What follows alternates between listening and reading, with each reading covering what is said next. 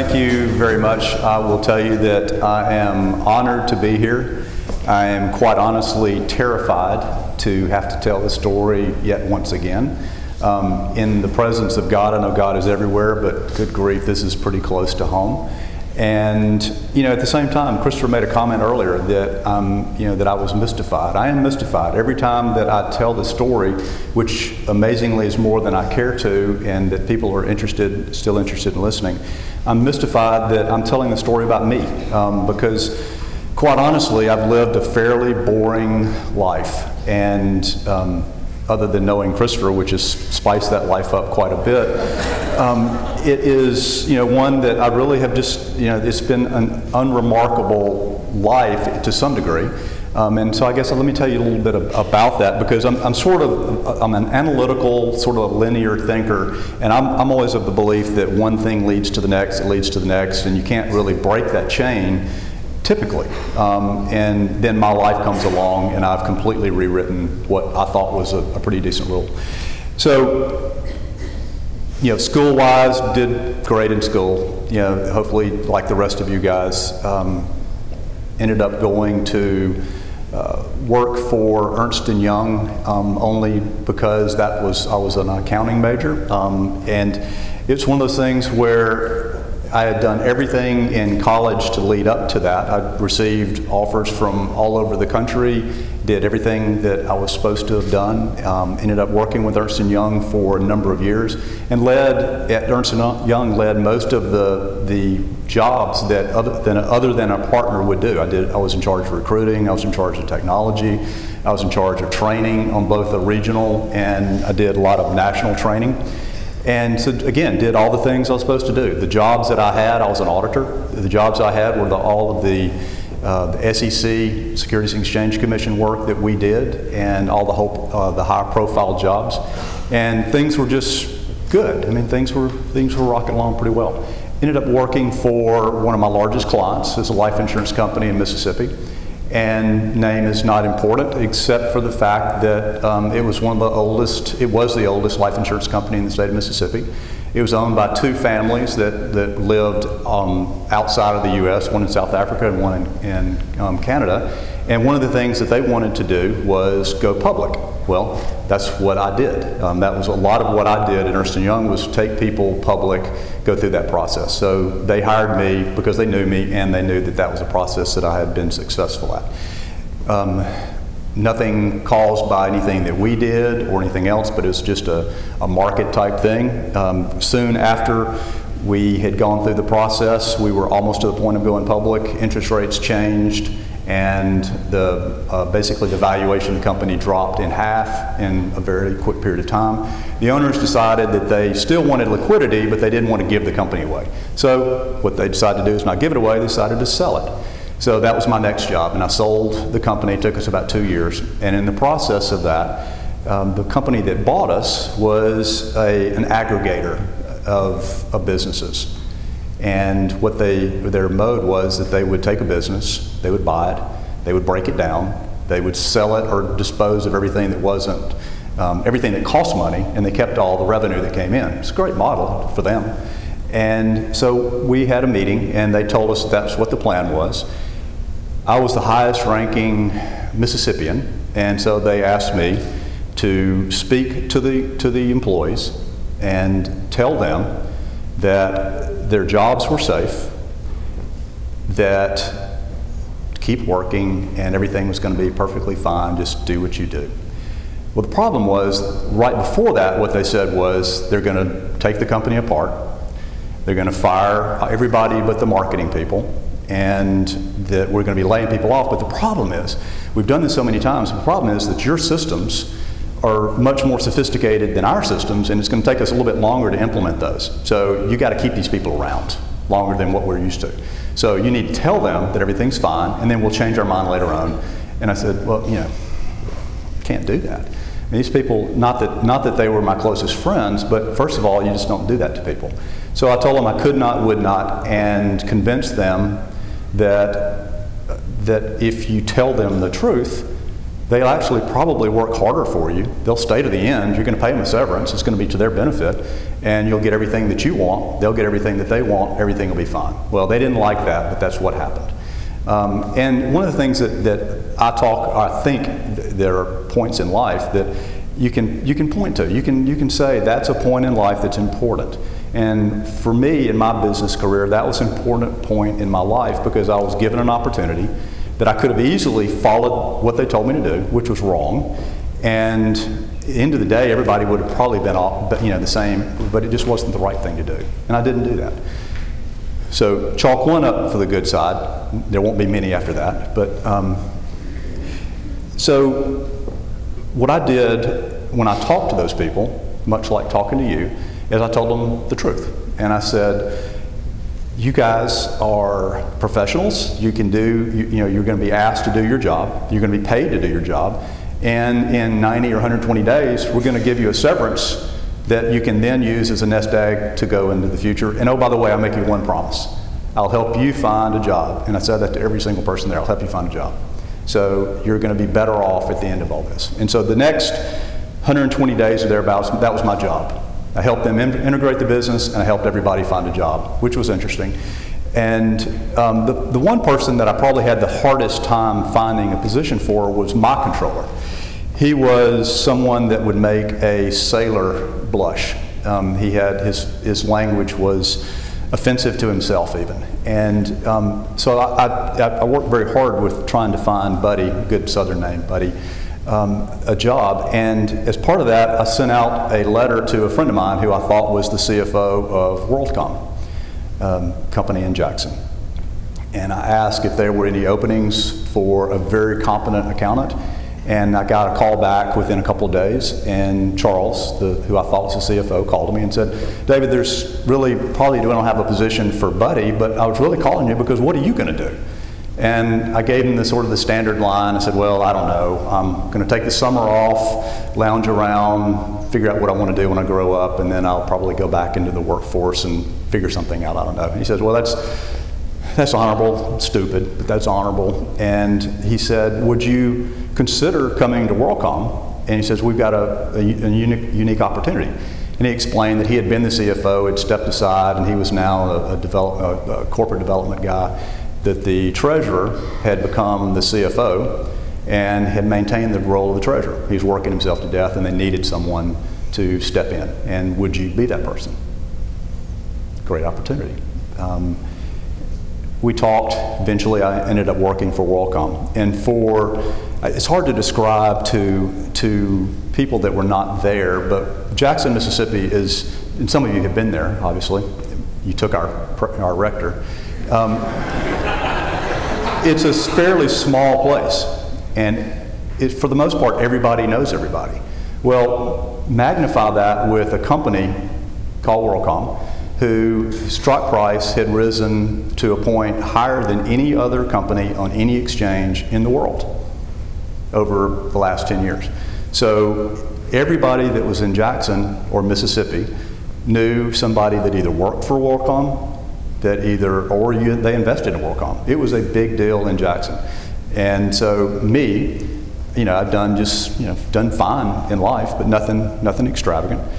Had, was now the treasurer of WorldCom. Pretty big deal for a guy from Jackson, Mississippi. Also, the reason I really liked it was the fact that for, you know, and John, I apologize for saying this, but from accountants, I was tired of being an accountant. And you know, being a treasurer, it's still finance, but it wasn't debits and credits, and I was able to do something different. And it was fun. We led, we had a huge bank consortium, um, which was very interesting. I'd never done a whole lot of that. While I was at WorldCom, I led the, the, at that point in time, the largest public bond offering in the history of the United States, which was a pretty cool thing.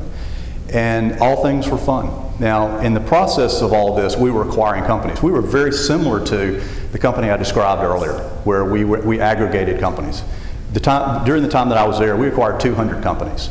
And we were pretty much pretty good at acquiring companies. The one thing we did though is we told that, you know, as soon as you got, as soon as we hired you or, or bought the company, that um, we were only going to keep this number of people. We were very straight, straightforward, very transparent from the very beginning, and everybody knew it. It's just it was our mode. That's what we did. And so, as a result of, of all that, there were 200 some odd acquisitions. One of them was, was sort of um, interesting. Again, name's not important, but we bought a company who gave us a global presence. And it also had an employee who was a treasurer. And the difference between that treasurer and me was that he had done it all his life. I'd just done it for two years. And while I was doing a good job, I thought, um, he really, in my opinion, would have done a much better job going forward. So I talked with my boss, who was a CFO, and his boss, who was a CEO, and we agreed that this individual would take my position and I would step into a position not yet created, which was controller. Now, if any of y'all are in the corporate world, um, this should come as probably, hopefully, will come as a shock. WorldCom had never had a controller in its history. And the controller is the guy that is responsible for basically the financing, the financial statements, the accounting of the business. So I'm telling you, we've had 200 acquisitions. We've done, you know, we're SEC traded company and we don't have a controller. I'm the first one. That should be a, you know, that should be a problem. Um, and it was because the very first quarter, first month that I closed, I found out very quickly, and it's not because I'm any more intelligent than anybody else, it's just that I, I had eyes and I, I used them. And I found out that over all of these acquisitions, we were recording income by selling product to ourselves, which you can't do. And again, I'm not going to get into accounting, so breathe easy. I won't talk about that anymore. But it's one of the principles of accounting. You can't make money selling stuff to yourself. And so uh, we fixed it. Took us quite a while because it went back over many, many years, over many, many acquisitions. But you know, we were able to, to identify it and fix it. When we got finished, I went to my boss, the CFO, and said, now how do we want to disclose this? How do we want to tell the world, because that's part of what we do. We're, we're a publicly traded company, so what do we do? We tell the public what's going on. How do we tell the public what, what it is that we've done? And the response was a little bit unusual. He said, well, David, good job, um, but that's not your job. You're not in charge of SEC reporting. And so as a result, you do what you do, I'll do what I do, and but you know you don't need to worry about that any further. But what do we, how do we talk to our auditors about this? That's not your job. I go back to the point I made earlier. There are points in life that you should point to and, and know, aha moments or whatever you call them. That was another one of those moments. And what I should have done is not what I did. What I did was I listened to my boss, and he told me it was not my job. And I said, Well, okay, it's not my job. You'll handle that. You'll do whatever you're going to do. And I went about my job. And what I should have done, any number of things. You can, you know, we can sit here for hours and debate what I should have done, but I didn't do it. Whatever, whatever that was, I didn't do. That went on for a period of time, and know, no big deal. We're just again just working.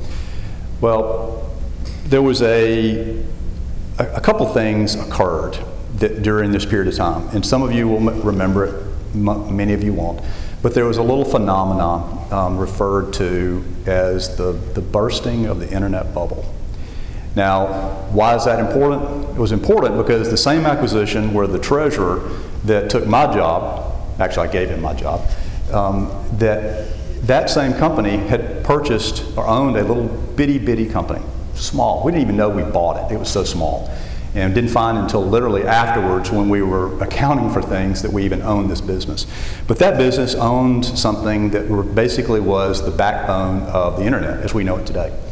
And they had one little customer, um, AOL. And so it was a pretty, it turned out to be the, you know, the largest, the best transaction we ever did, and it paid for the entire transaction just with the business that we bought. We didn't even know we bought it. So the, the issue was that everybody who was in that industry, the internet industry, internet service provider industry, they could, they could write, I could take today's bulletin and I could write a business plan on it if I could find enough space. I could hand it to an investment banker, an investment banker would find me millions and millions of dollars to fund an idea. And literally, money was falling over itself to get into this new, this new thing. And it was growing at rates that you'd never seen. Well, WorldCom for all intents and purposes, owned the entire backbone. We owned what effectively was the interstate highway that carried the internet. So we were growing at unbelievable amounts. And, but the problem was that the, these internet service providers, their business plan was similar to, I guess, a lot of Americans. They were using other people's money to live. And so they were borrowing money and they were taking capital from others. Their business plan was never to make any money. You look at them, they never made any money, and their plans were that they weren't going to make any money. Why were people investing in it? Because the share prices were rising at such drastic rates that who cares whether the company ever made any money? I'm going to invest in them because the share price is going to double in six months. Well, that's not a very sustainable model, guys. I think you already know that. Well, eventually that occurred, and someone came to their senses and said, There's no way somebody can ever make money. That means they can never pay back the money they borrowed. I'm not going to give you any more of my money. Good money after bad theory. So they dried, the money dried up. When the money dried up, how did that affect WorldCom? We're the largest provider to the internet, internet service providers. They quit paying their bills, which is a problem because they're paying us. So not only did they not pay their bills, but the revenue that we were generating dried up. And not only was that important, the fact that that revenue was our largest growth in the entire in the growth engine for our entire business. So we went from being unbelievable high flying to all, all of a sudden it was an, oh my goodness, this is really bad. No big deal if that's if, if you deal with it. Um, problem was we didn't deal with it. There was a conference call that we have every quarter, and anybody that's in this in that business would know. We talk with our analyst and in that call, our CFO and our CEO talk to the analyst and tell them about the previous quarter. And at that point in time, different than today, we actually would tell people what to expect going forward. Thank goodness people don't do that anymore um, because it's very it's it's dangerous. It really is dangerous. And one of the questions that came out was a very good question. Sprint and AT&T and others had just announced they were taking huge charges and reducing their expectations on their financials going forward. And what they said was the reason was that, the that their part of the internet, which is so much smaller than ours, was a large part of their business, and they were not going to be able to sustain that type of revenue.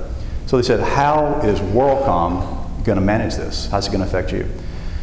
And I went, Wow, this is, this is going to be a good one because it, it's, it's going to be bad. It's really going to be bad. Well, the answer was our CEO said, WorldCom has become so diverse, so large, our business is spread over so many different platforms, it really is not important to us. Again, another moment when you look at it and say, oh my word, that is so far from the truth. What, what did I do?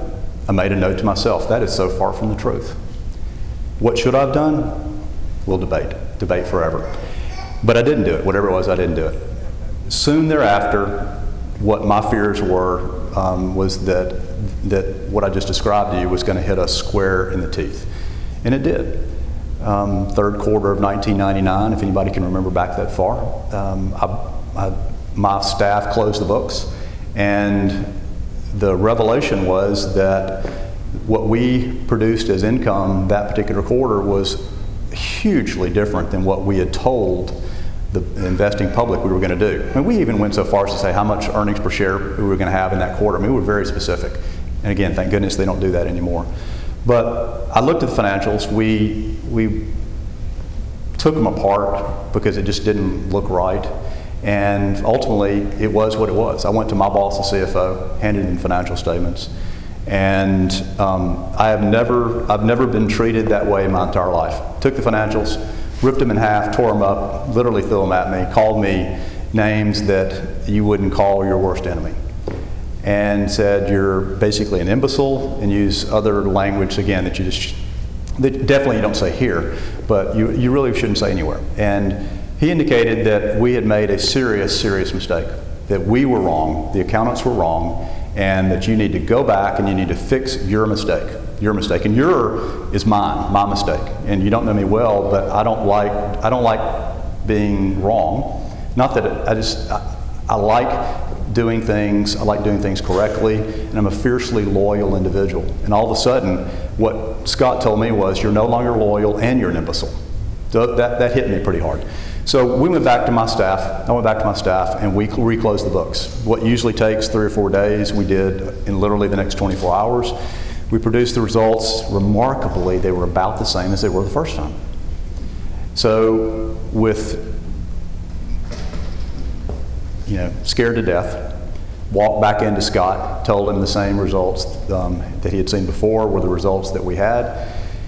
He sort of went through the same tirade, but very quickly realized that we, were, we, were, we had more of an issue, and it was more of a logistics issue.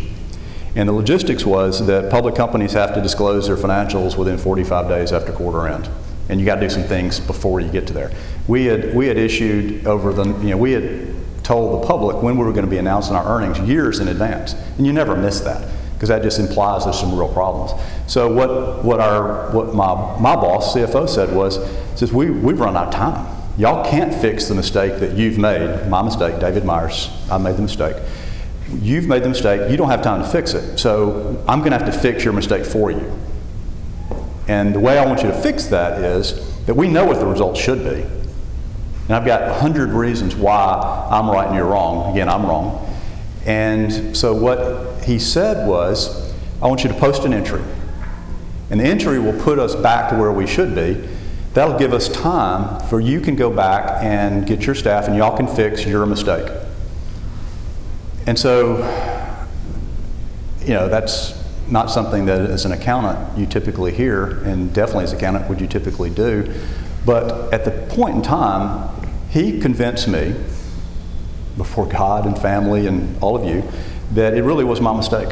And that something was wrong, even though I knew, I knew that something inherently was, was wrong with the business, but I didn't think it would turn that fast. So we booked an entry not just any entry, it was an entry for $750 million. It's a pretty big number. Um, and we closed the books. My staff and I were, as, as Christopher described me coming into his office glossy eyed, you should have seen my staff and me after we did that because that's nothing that we had ever been trained to do. We'd never, you know, nobody ever done anything like that. And so I had a I had my staff wanted to quit. So did I. But um, one of them actually resigned and or issued a letter of resignation, and I told her I would help her find a job. I didn't blame her whatsoever. Um, I would, I was ashamed to have asked her to do that. Well, I ended up telling Scott about the problems that my staff was having, and that we were very uncomfortable, and quite honestly, most people were probably going to be leaving. And so he asked us to come to his office, and he, he gave us a um, a pep talk, I guess is what you'd call it. And in that pep talk, what he said was, he said, think of you guys, think of this, sort of a parable, if you will. There is a aircraft carrier. Was going, where is this leading? An aircraft carrier. There's an aircraft carrier, and y'all are the aircraft carrier. Now, what does an aircraft carrier do when it's out in the middle of the ocean? Well, planes jettison off of it, and they land, and but there's a lot of communication, and the planes that leave have got full faith that that aircraft carrier is going to be where it says it's going to be when they land. Otherwise, they fall out of the sky and they die, right? Makes perfect sense to me. Even though it's never in the military, makes perfect sense to me. Y'all are the aircraft carrier. So if y'all quit and leave WorldCom in the lurch, what you've done is that the employees that work here are going to be severely impacted, probably lose their jobs the shareholders who invested in this company are probably going to lose their money. And it just went on and on and on, effectively telling us that we were going to kill people if we didn't, if we didn't stay. And that it ended with, and oh, by the way, I, in this case Scott Sullivan, will take credit for or take the, if there's any issues as relating to what y'all did, I will be responsible for it. I will take responsibility for your actions. Guys, no one can take responsibility for your actions. Nobody. Now, the human mind can rationalize anything it wants to. And what, what we heard was, we heard all, everything that he said, strange as it was, but what we heard was that somebody else is taking, taking the responsibility. If something goes south, it's his problem. He's the one that told us to do it. What should we have done? Should have run for the hills. What did we do? Well, quite honestly, we all had families. We all were gainfully employed in a small southern town, not a lot of other places to work, and we rationalized that it'll all work its way out. We'll figure this out. We're smart guys. We'll figure it out. And oh, by the way, it's a mistake. We, we admit it's a mistake. So we proceed to spend the next weeks and months trying to find the mistakes that we had made. The next quarter that we closed, um, instead of there being a $750 million problem, it was only, can you believe this? It was only a $300 million problem. Obviously, we had found half of our mistakes. And if you follow that trajectory, very quickly we would find all of our mistakes and reverse them all in a quarter or two. So again, the human mind rationalizing, we are fixing the problems that we created because it's our mistake, and soon everything will be fine. Still problematic, still troublesome. Um, not sleeping well at night, all those other kind of things that should probably tell you something but didn't do anything about it. The next quarter, um, you would have thought that trajectory would have taken it from 750 to 300 to zero. It didn't. It went 750, 300 to something north of 300. So the entire theory of the mistake that we had made was not the mistake that we had made. It was the mistake we made was not believing what we knew and not standing up for what we believed in, allowing somebody else's morals and ethics, if you will, to override our own, which you can never do. Well, at that point in time, reality sits in. And now you realize that you've got three quarters behind you, three known events that are nothing short of horrific. So, what do you do? You can't erase the work that you've done. And so, my staff and I, we rationalized that um, we would find some way, I guess, to, to minimize the problems. We would work with Scott, and Scott was going, was going to take care of us if anything ever went wrong. Needless to say, that didn't happen. Um, that went on for several quarters, and it did not get any better. We, we, you know, we just fumbled along, pretending we were something that we weren't, which was very problematic. And I'll speed sort of to the end because from, from that perspective, you know, effectively what I did was I did, it's sort of like your actions and inactions. My actions were horrible. My inactions were even worse. And that's the thing that I'm, you know, I'm troubled about my actions, but I'm horrified about my inactions. And so what ended up happening was that there was a, an individual in Dallas during all this that actually was responsible for posting some of these entries. And they read an article in the Dallas morning paper that hit home. And what that article effectively said was that a small business in Dallas had fallen on hard times, that their boss had told an accountant to post an entry to fix a problem. Don't worry, I'll take care of you if there's a problem. I'll be the one that takes the blame. Well, when that little problem came to light, and the person said, you know, Johnny over here told me what to do. Johnny looked at him and said, don't know what you're talking about. Not me. So they ended up firing this individual, prosecuting him, whatever else. And so they said, this, that's going to happen to me, so I'm not going to let that happen to me, so I'm going to call internal audit, which basically, that was the, one, the, you know, the whistleblower. And so they, you know, they called internal audit, figured out what the issue was, because it was very easy to figure out once you knew what you're looking for. And so the internal audit came to my staff one by one and asked them, you know, about support for these entries, which there was none. Each one of them indicated that they didn't know what the person was talking about and go see their boss, go see their boss, go see their boss, and ultimately they came to me. And they asked me the question, David, could we have support for these entries? And, you know, we probably could have, you know, if we wanted to extend this, we could have lied, we could have made stuff up. But quite honestly, that was the point where I had had, I had, had enough, and it's probably one of the more liberating points of my life. And I just I told Cynthia, the internal auditor, said there is no justification whatsoever for what we've done, and I said I can't I can't um, do anything about it. I'm, I'm, you know, I'm sorry, but we did what we did. And so the, the world as I knew it at that point pretty much changed um, on its ear. Spent the next you know, weeks working with the, um, with the audit committee and the board of directors and everybody else, trying to figure out what exactly to do. Um, obviously, the only thing you can do is tell the world what you've done and which, which happened. Uh, they wanted to fire Scott, which they did, and they actually offered me for a moment in time the, to be CFO of WorldCom. How probable is that? And, um, but that was before the lawyers got involved. And as soon as they got involved, then I was, then I was also asked to leave or resign, and I, and I resigned. So I spent my next literally year, year and a half doing nothing but working with the U.S. Attorney's Office because you know they were they were investigating this, and I was I was an informational witness, and so I spent all of my time all of my time doing that. What I found was that at that point in time was when I met your rector, my former rector, and my closest friend. And you know, Christopher, one of the things that he does a very good job of is that he doesn't he doesn't pull many punches. And you know, we had that conversation that he spoke about. And you know, while Lynn cried like a baby, um, and I looked at him apparently with glossy eyes, um, the truth became very apparent that you, you have to, at that point in time, you got to stand up and make amends for what you've done.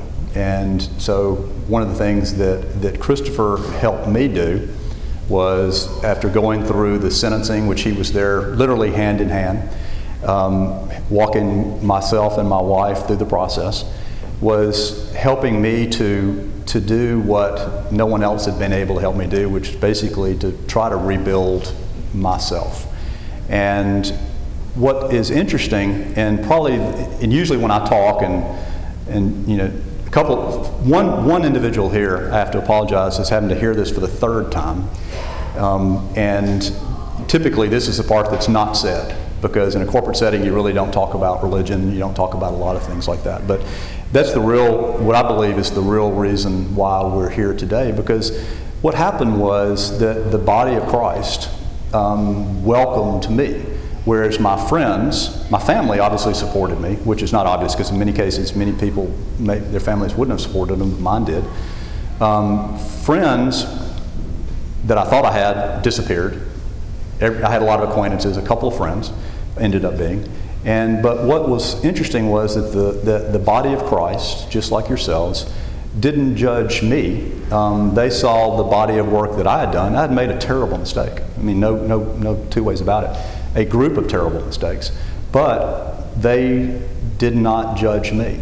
And while it took me, gosh, months before I felt comfortable enough to even come back to church, once I did, um, and the initial shock of walking in and seeing people that I knew was the fact that I was not embraced. I mean, I want to say people congratulated me because I had done something very terrible, very close to home as well. Many of these people lost a lot of money.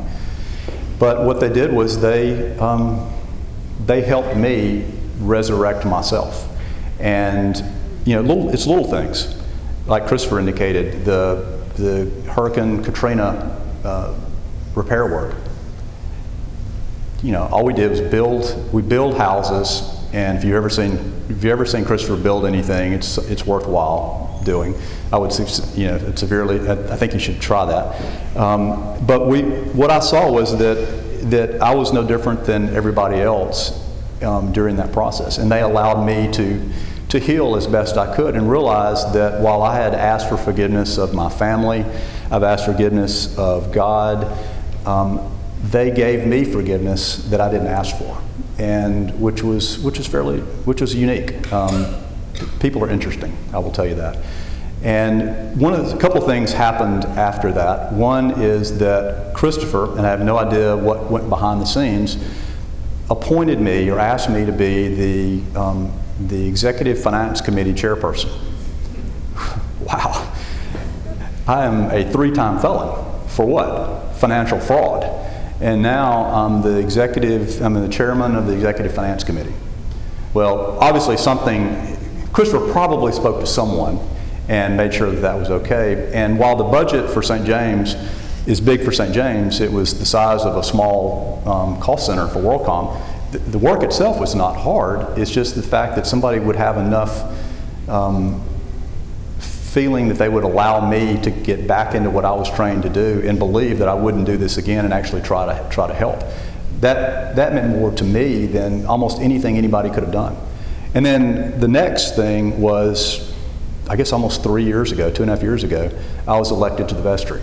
Now, something that's a curse, um, and, and, to some degree, to some degree it is. But to me, it was it was an affirmation that that everything that I had done was not that it was okay, because nobody said what you did is okay, what they said was, we understand that people make mistakes. And one of the things, whether it's Christopher or someone else is, it's not the mistakes that you make, it's what you do with your life after, after those mistakes and, and everything else.